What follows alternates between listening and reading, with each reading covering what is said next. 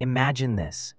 Somewhere out there, beyond the twinkling stars we see each night, there might be another Earth. A world with oceans, clouds, and maybe life. In the last few years, astronomers have uncovered a few incredible planets that could, just maybe, support life as we know it. Beyond Earth. These planets could be humanity's next chapter.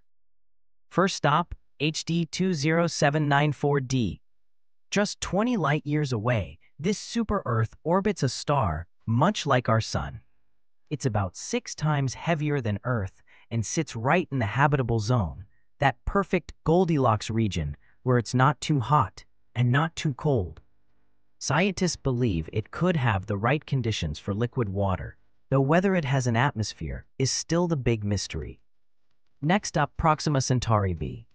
Located only 4.2 to 4 light-years away, this super-Earth orbits the closest star to our solar system. Its proximity makes it a prime target for follow-up studies, despite concerns over flares from its red dwarf star. Next up, L 98-59 f. Only 35 light-years from us, this newly confirmed world lies within its star's sweet spot for habitability.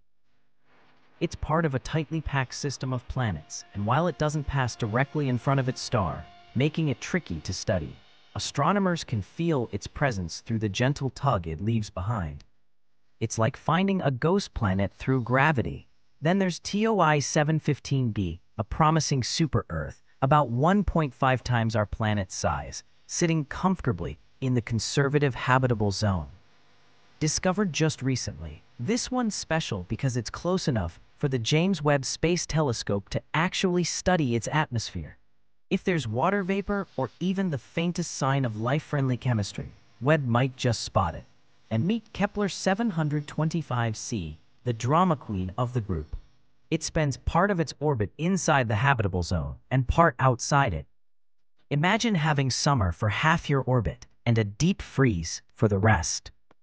Scientists call it a part-time habitable planet. Finally, GJ1002b, only 16 light-years away, practically our cosmic neighbor. It's roughly Earth's size, orbiting a calm red dwarf. With temperatures close to a chilly 261 Kelvin, this little world might just hold the kind of balance where liquid water could exist.